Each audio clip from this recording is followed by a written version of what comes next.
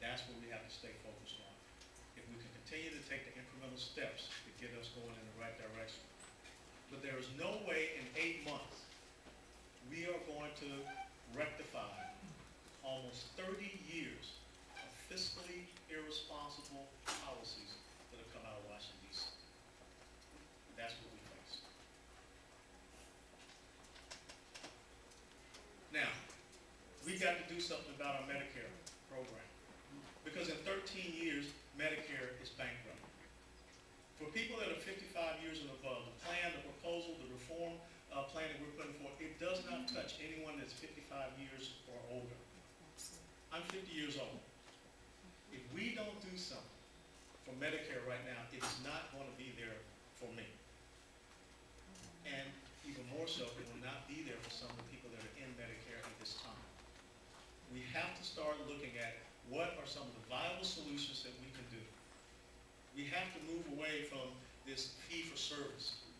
We have to look at the fraud, waste, and abuse that is in Medicare. South Florida is ground zero for Medicare fraud, waste, and abuse. And we've got to look at the means by which we can rectify that.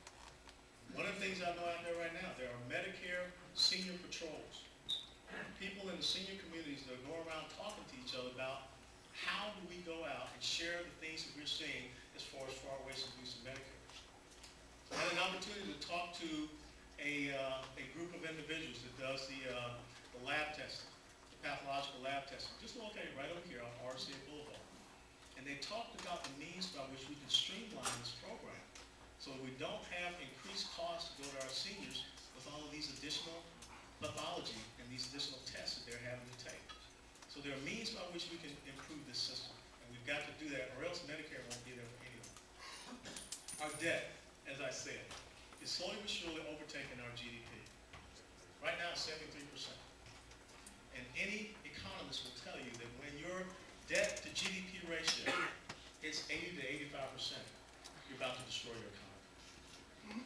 And that's where we are. We have got to turn it around. We cannot be to the point where what we owe equals what we're producing. Forty-seven percent of the debt of the United States of America is held by foreign nations. Twenty-seven percent of that debt is held by China. And interestingly enough, while I was in Israel, there was a pretty, pretty peculiar visitor to Israel while I was there. It was the chief of the Chinese People's Liberation Army be very weird. Forty-seven percent of wage-earning households in the United States of America pay no federal income tax. That is a very dangerous statistic when you sit down and understand that we have about fifty-three percent that is pulling the wagon in this country. Now, let's talk about the facts. Let's talk about that top one percent of wage earners. That top one percent of wage earners pay about thirty-seven percent of the taxes in the United States of America. Top five percent of wage earners pay about fifty-three to fifty-four percent of the taxes in this country. The top twenty-five percent of wage earners in the United States of America pay eighty-six percent of the taxes in this country. That's why it is not about share sacrifice. That's why we gotta make more people shareholders in the United States of America. And that's why I believe that a flat tax system is a great system to go to for our personal income tax rate. Anywhere from thirteen to maybe sixteen percent. And you have two deductions. You have a child tax credit, and you have a mortgage interest tax deduction. Why those two? Because we want families, and we want families to have homes. And those are the two deductions I think, we can simplify that tax code. And here, very simple. Two hundred and forty billion dollars in two months, that's all you would get. The federal government right now is spending about three to four billion dollars a day. It's not a revenue problem. It's a spending problem in the United States of America. Can you repeat that? I didn't hear that, sir. That, that fact? I didn't hear that. I apologize, but I didn't. Three hear to four billion dollars a day Where? is what, is what the federal government is spending. It's also three billion a week though for the war, sir. It's a revenue problem.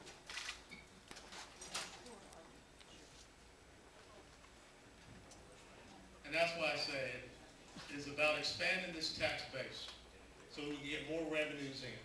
And that's a historically proven thing in the economy of the United States of America, as a free market, free enterprise system, is that if you can lower those tax rates, if you can curtail spending coming out of Washington DC, it will increase the revenues that are being produced, because the more money that we put into your pockets, guess what happens? It's about going out and spending, it's about goods and services, and therefore, if you're requesting more goods and services, then small businesses are growing. But right now, with the regulatory environment, and the tax environment that we have, that is not what's happening.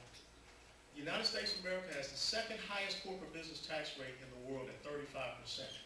When you combine that with the four to six percent of state level corporate business tax rate, now you're talking about thirty-nine to forty-one percent for our corporations and businesses.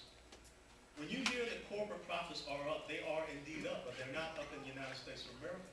They're up overseas, which is where people are going because they have. If we were to just take the corporate business tax rate in the United States of America and bring it down to twenty-one percent, and in doing that, eliminate loopholes and eliminate subsidies, just give our corporations and businesses a competitive tax rate, then you will see trillion dollars of capital come back to the United States of America. And we can get back to doing what our corporate business sector and our small businesses want to do. Grow their businesses, hire Americans, get back to producing, get back to manufacturing. That's